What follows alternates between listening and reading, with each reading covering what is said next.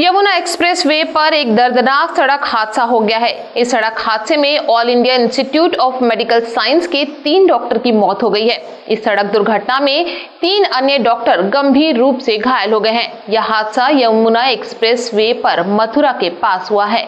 दिल्ली के एम्स अस्पताल के सात डॉक्टर अपने साथी डॉक्टर हर्षद के जन्मदिन को मनाने के लिए दिल्ली से इनोवा में सवार होकर आगरा जा रहे थे। तभी जैसे ही रात लगभग ढाई बजे डॉक्टर की गाड़ी मथुरा के थाना सुरीर इलाके में आगरा की तरफ़ मोइन स्टोन अठासी के पास पहुँचे, तभी तेज गति से चलती इनोवा आगे चल रही डीसीएम गाड़ी से जा टकराई।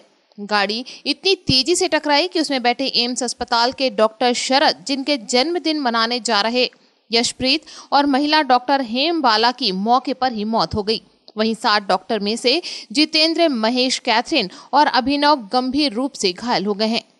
घटना की जानकारी जैसे ही स्थानीय पुलिस को लगी तो पुलिस ने जहाँ मृतक तीनों डॉक्टर के शव को पोस्टमार्टम भेज दिया है, वहीं घायल हुए चार डॉक्टर को इलाज के लिए एम्स में भर्ती कराया गया है। हालाँकि सभी की हालत चिंताजनक बताई जा रही है। मथुरा से खेमचंद पटेल की रिपोर्ट, एनीवन न्यूज़।